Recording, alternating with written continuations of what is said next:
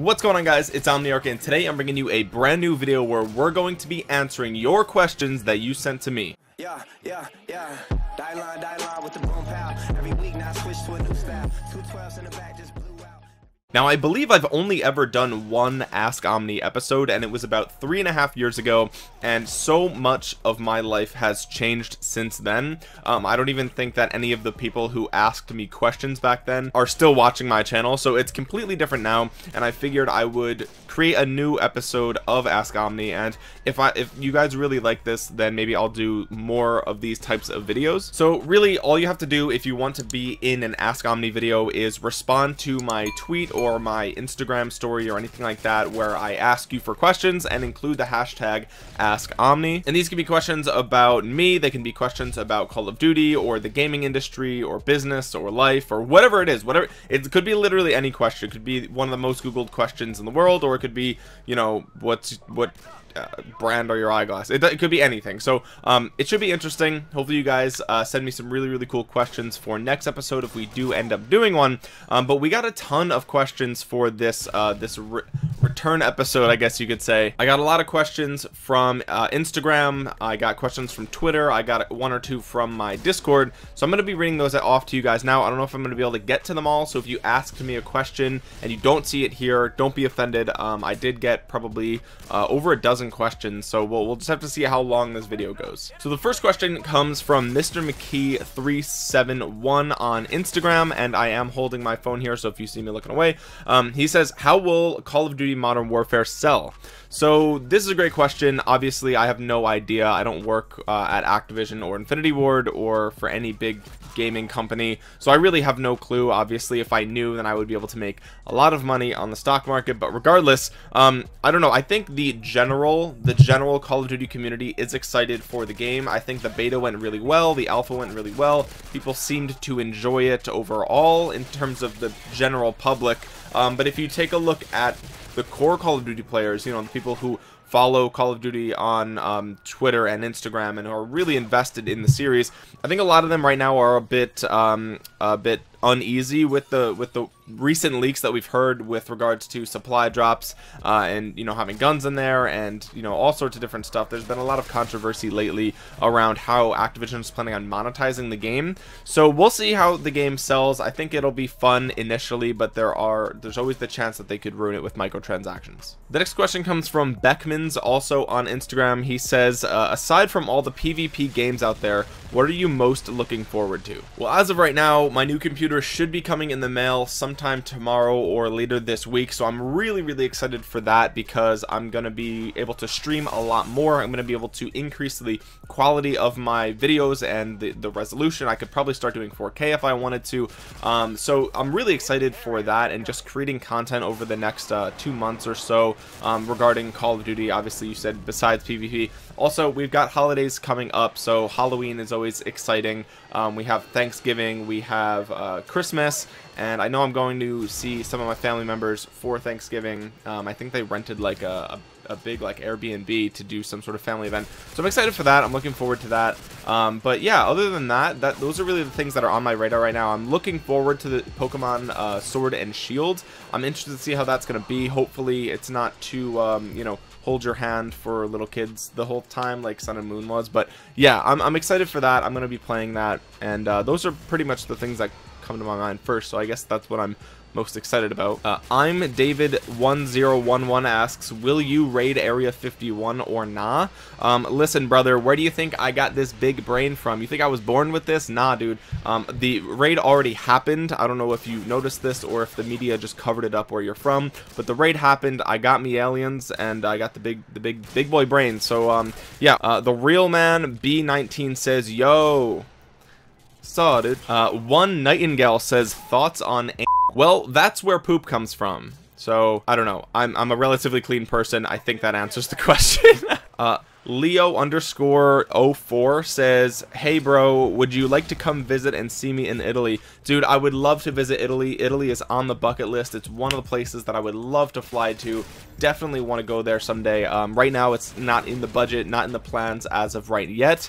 Um, but yeah, one day I would love to visit uh, Italy. And when I do, if there are any people that watch my videos who want to say hi, of course, I would um, I would make some time for that. Ali, what's up, man? Uh, he says thoughts on the new game releases. Um, so I really honestly haven't been keeping up with too many of the latest game releases. I know Ghost Recon came out. Um, there's been a couple other things that got the community buzzing, but really I haven't been looking too much into it. Right now I'm just focusing on Call of Duty Modern Warfare coming out. Um, Call of Duty Mobile was technically a release that I think went over really well. I think it set records for the number of people playing it. Um, so that's really cool. I'm happy for them for that. But uh, right now, there's not much that I care about at the moment. I didn't play, uh, what was it, Link's Awakening. Um, I do want to at least try that, but right now, it's not really on the, on the list. So, yeah, I'm just looking forward to Call of Duty right now, and, um, and Pokemon, obviously, I mentioned that before. But those are the two main things at the moment, and then we'll see, you know, once those games die down, if there's anything that I missed from this holiday season, I'll go back and uh, and I will play those games. Uh, Krista Laney said, which do you prefer, campaign games or multiplayer game modes? So for me, um, in the past I used to say that it didn't matter like I didn't I would say you know some games are great single player some games are great multiplayer and it, they just exist on their own and I do feel that way um, I still do think obviously that's the case. I've spent a ridiculous amount of time on Skyrim and Pokemon and other you know primarily first uh, or single player games right? So that's still the case but unfortunately i think as we move more and more into a multiplayer world um, i get more excited for games that have some sort of multiplayer component. Obviously fortnite came out. I never played save the world but i did play battle royale so you know i can't say that i have no preference. Um, i do prefer multiplayer uh, games at least types of games where there's a multiplayer component so you know like let's talk about monster hunter right you can pretty much play a lot of the the, the game single player, but you also can do it multiplayer, which I think is really cool. So um, having a game where you can grind single player and then show it off multiplayer is also really cool. I think that provides a really awesome incentive to continue playing a single player game because, you know, a lot of times after you beat the game, then you no longer uh, you know, you no longer play it, right? But of course, then there's Breath of the Wild, which was primarily single player, or really only single player. Um, so yeah, I mean, it's it's hard to say, but mostly I'm excited for multiplayer. Uh, she also asked a follow-up question: What's your go-to order at any coffee shop? So. The coffee shop that I primarily visit most of the time is Starbucks because I do like Starbucks a lot. I do I know like it's kind of like overrated or whatever, but I really do like Starbucks. Um, for the summertime, I go for a uh, a grande cold brew with half and half and uh, their their simple syrup like uh, sweetener. So I know it's a little bit weird to add those to a cold brew, but I do really like that. Oh, I prefer it over um, uh, over just an iced coffee. Uh, so that's for the summer. If it's the winter time, or if I'm trying to be a little bit more conscious of how many calories I'm consuming, or even if I have like a sore throat or something, I do prefer their either Americano or their Blonde Americano, which they, I don't know if they still have that, but um, the Blonde Americano is really, really good actually. So I do like the Americanos um, from there. Sometimes I add some, some cream to that as well, depending on what I'm doing. Um, and then fall time, fall season, I absolutely love the new pumpkin cream cold brew that Starbucks had for this fall, insane, so good. It's absolutely incredible. I love it. I love it so much. Um, and the pumpkin spice lattes obviously are incredible, but they do have a lot of calories, so I try to not have them as much anymore. But uh, yeah, they are really, really good. So those are my most uh, popular orders at coffee shops. If it's a coffee shop I've never been to, I try to get their cold brew just to try it out. Um, but yeah, uh, Glitch Sites um, asked me from Twitter. He said, "What has been your favorite non-Call of Duty game in the last five years?" For me, it would have to either be uh, the Pokemon um, franchise, essentially, because we saw um, we saw what was it? We saw Sun and Moon, Ultra Sun, Ultra Moon, and then also um, a little bit of some of the what was it? Um, I didn't really like Let's Go Eevee and Pikachu, but I did like um, Pokemon X and Y, which that exceeds five years at this point. Um, but then there was Omega Ruby Alpha Sapphire, which I believe was within the last five years. So yeah, I really um, I really enjoyed uh, what is going on with my hair here?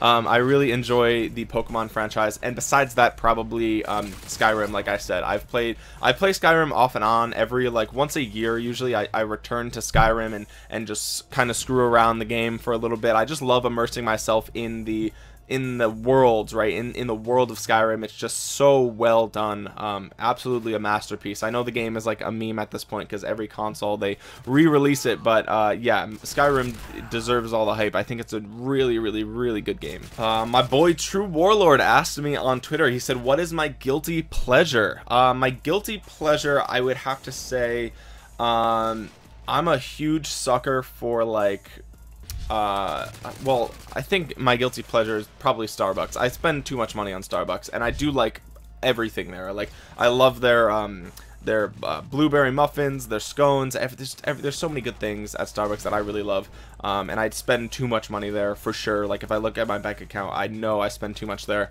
Um, but besides that, there are some games where I don't mind uh, microtransactions um, mobile games specifically if it's if it's free to play I don't mind spending money on the game and uh, sometimes I might get a little bit carried away spending a little too much on some of the games that I've played in the last um, probably year or two um, and besides that I'm a huge sucker for donuts like if I go somewhere and there's a if there's a, a donut shop that I've never seen before and they have a really cool donuts like I will eat those calories. Like I will do it. I, I have to do it. Um, so I love donuts as well. And uh, the last one's probably Domino's. I think every couple of weeks, like I get this craving for Domino's, and I just sit there and eat like 3,000 calories of just greasy, like pepperoni pizza and their their stuffed cheesy bread with the bacon and the jalapenos is so good. My boy Days or Dazes or Darren whatever you want me to call you on a video. Um he asked me who would you move to LA with if you had the choice?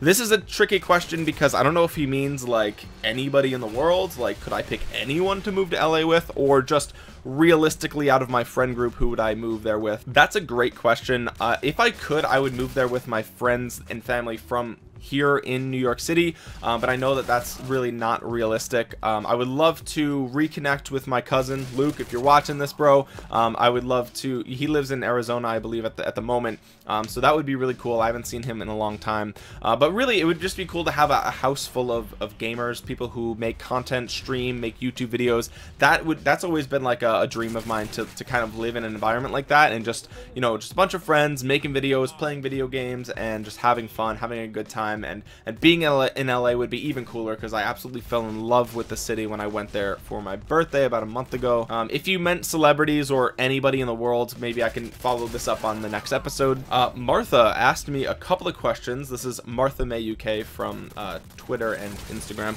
She asked me um, one if you could live in any video game world what would it be um, for me it would probably have to be it's a it's a throw up i thought of three right off the bat I thought of uh, World of Warcraft, I thought of Fable, and I thought of Pokemon.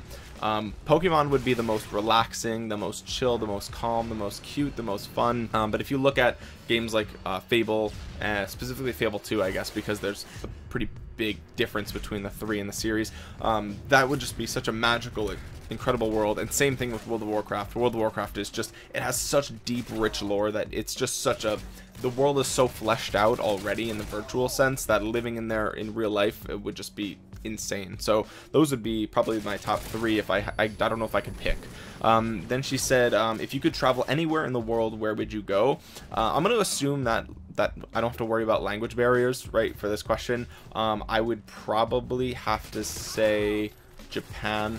I really would love to go to Japan. I think a lot of my childhood a lot of my favorite games um, a lot of my favorite technology comes from there or was inspired by them.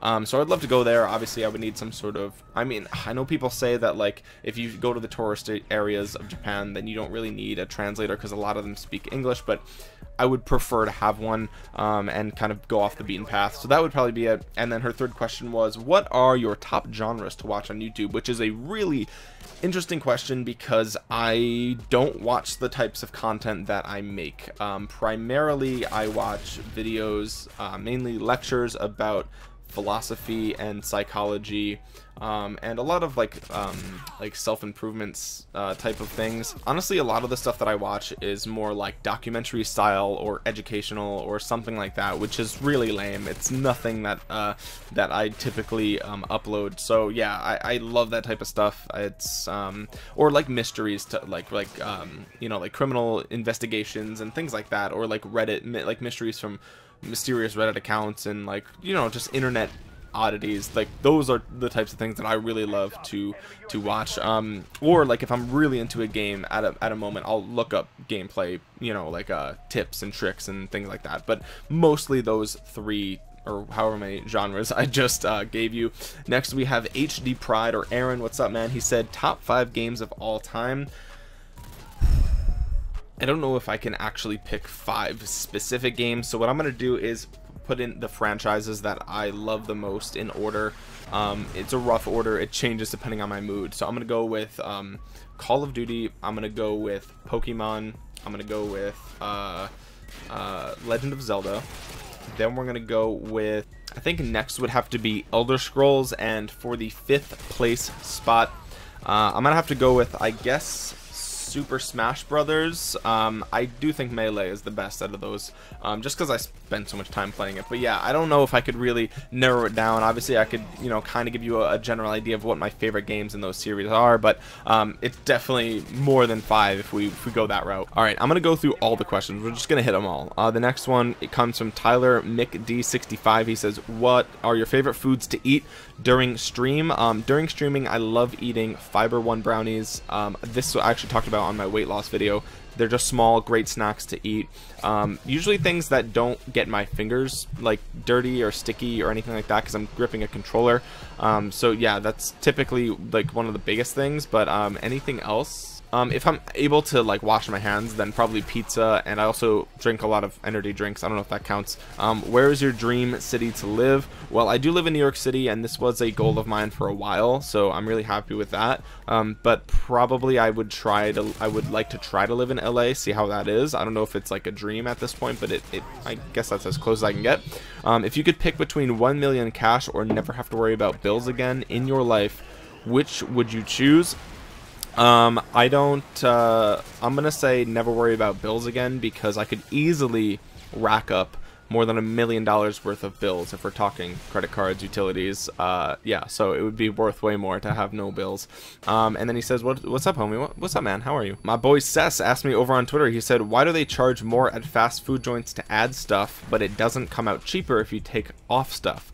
Um, the reason for that is because they control their profits. That's why. I mean, big businesses they basically mass produce one thing and if you want to add extra they can do that for you if they have incentive of getting more money but if you want something taken away tough luck you're just you're just getting what you're getting what you're getting basically. They're only going to do what's in their best interest obviously. Ali asked me what inspired you to stream and make videos. Um, i was inspired to make videos 10 plus years ago just by watching my favorite YouTubers on YouTube people like Wings of Redemption and um, Woody's Gamertag, X XJawz, these guys making Call of Duty videos was insane. And then I also used to make um, Pokemon videos and Yu-Gi-Oh videos because there was a lot of cool content creators in that space at the time. I'm sure there are still. It just I kind of outgrew that type of content. Um, and then streaming, I was inspired to stream by uh, Nadeshot and similar content creators. Um, Courage, Valkyrae, like those types of people inspired me recently to really take it more seriously. Um, he also asked PS4 or Xbox. I think PS4 is better, but the Xbox has a better controller, and also the 360 was better than the PS3, even though I played the PS3 probably a little bit more. Um, he also asked top five favorite music artists. So I'm gonna go with um, okay, that question, I can't answer that question. It's just impossible. My favorite genres change every other day. So that question, I, I really cannot answer. it. Like, I, I, I have no idea. Uh, Borko15 said, what kind of music do you listen to and your favorite band? Um, same thing, can't really pick a favorite band. I mainly listen to hip-hop rap music with a lot of, like, bass-heavy EDM. Um, but I also listen to all sorts of other stuff. A lot of, like, uh, lo-fi, a lot of, um, Sometimes I go on vaporwave kicks or classical piano or like I, I listen to everything, man. Everything but country for sure. All right, and the last couple of questions were just repeats of questions that I already answered earlier in the video, so I'm gonna skip those. So um, yeah, I'm pretty sure I answered all the questions. Oh, just kidding. I have my man Drew from Discord. He says, sucking toes or eating ass. I would not like either of those options. I would not enjoy either of those things. So I'm going to go with whichever is cleaner. I'm going to say whichever one you've cleaned more recently, that's the one that I'm going to go with because, again, we talked about this and, uh, yeah, guys thank you so much for everyone who participated in this video. If you enjoyed this video if you enjoyed learning something about me or if you agreed with any of my top favorite games or anything like that make sure you comment down below telling me um, what some of your answers are to these questions. I would love to hear from you guys. Um, if you want me to do another one of these videos make sure you drop a question down below. I'll be pulling the questions from the comment section first for next video. So if I ever make another one of these the questions down here are going to be the ones that I use first. With that being said guys if you're new around here make sure you drop a subscription to the channel. I would appreciate it very much.